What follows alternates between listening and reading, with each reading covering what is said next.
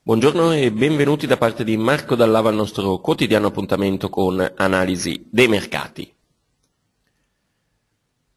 Come previsto e come ribadito più volte nelle ultime giornate, ieri è stata una seduta davvero molto importante per i mercati finanziari e anche per il mercato valutario. Il vero market mover della giornata di ieri, ma non solo della giornata di ieri, potremmo definirlo market mover eh, sicuramente di questo Tava, ma probabilmente che, eh, visto quanto è stato ribadito proprio nella giornata odierna, potrà portare e influenzare i mercati anche nelle prossime settimane.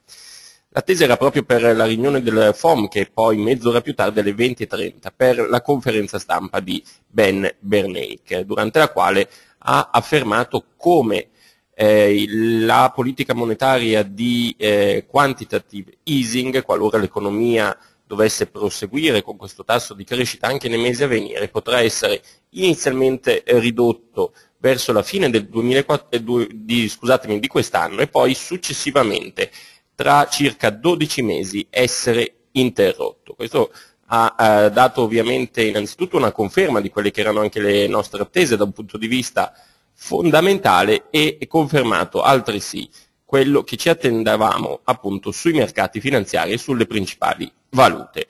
A seguito appunto di queste parole del Presidente della Fed, i mercati ovviamente hanno definito un movimento ribassista, anche di ampie dimensioni, insomma tutti e tre i principali listini hanno chiuso con un ribasso superiore al punto percentuale. Performance negative ieri poi anche in Europa dove eh, appunto abbiamo registrato una giornata sicuramente in territorio negativo, proseguendo un po' quella che è stata la debolezza delle ultime sedute. Da un punto di vista tecnico ci portiamo appunto sull'SP500, su questo time frame H4, dove possiamo notare come a seguito della positività ehm, dove avevamo registrato appunto nelle ultime giornate, il mercato si era portato a contatto con 1648, livello di resistenza piuttosto importante, da cui si è definita una correzione come possiamo vedere anche di ampie dimensioni, proprio nella giornata di ieri. Raggiunto e superato assolutamente con forza anche il primo supporto posto in area, 1630 punti. Come vi dicevo poc'anzi, ieri debolezza anche sui mercati europei. È davvero interessantissimo è stato eh, ciò che è accaduto proprio sul DAX, in quanto si è definito un movimento ehm, davvero molto molto preciso. Dopo un primo uh, spike ribassista in apertura di contrattazione nella giornata di ieri abbiamo avuto un ritorno degli acquisti che ha riportato così il future a contatto esattamente con il livello di resistenza di cui avevamo parlato nei giorni scorsi, ovvero 8.284 punti. Livelli che, come potete vedere, corrispondono esattamente proprio al massimo definito nella giornata di ieri, da cui è iniziata una fase correttiva che è stata poi di ampie dimensioni, soprattutto con l'apertura in forte gap down eh, che si è definita proprio stamane in apertura poco meno di un'ora fa. Con il movimento che si è configurato appunto nelle ultime ore possiamo vedere come a seguito del nostro segnale short in area 8284 punti il future abbia raggiunto quelli che erano i nostri primi target ribassisti, primo dei quali in area 8100 e successivamente 8080 punti.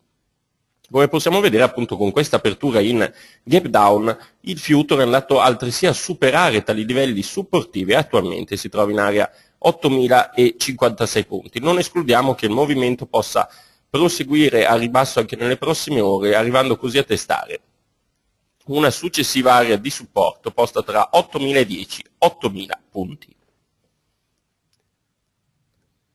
Prosegue la tendenza ribassista anche sul nostro future principale, sul nostro FUZIMIB a seguito del test eh, della resistenza passata a 16.300 punti. Abbiamo più volte definito come il mercato fosse ancora orientato a ribasso e lo sarà fin quando appunto non verrà superata la resistenza passata a 16.430, 16.460 punti. Ecco, eh, ieri la chiusura è, eh, come potete vedere, è stata in area 16.020 punti, ecco attenzione perché nella giornata di oggi, a seguito anche della debolezza di Wall Street, potremo avere un nuovo movimento ribassista che potrà così condurre il nostro future principale a raggiungere i target ribassisti evidenziati 15.625, 15.550.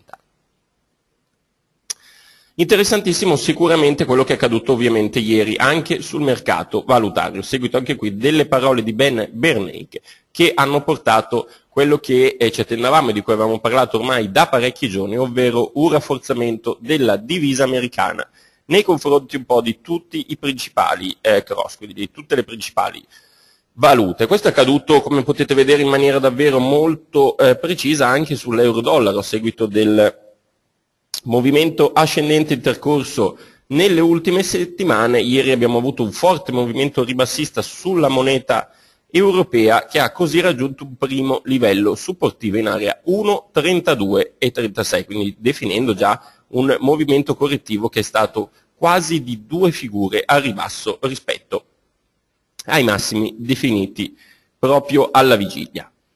Quindi 1,32-36 primo livello supportivo, come più volte già ribadito, insomma attenzione perché la correzione potrà assumere poi nelle prossime sedute anche dimensioni maggiori e riportare così la valuta europea successivamente poco sopra area 1,31 e non escludiamo un approdo anche fino in area 1,30.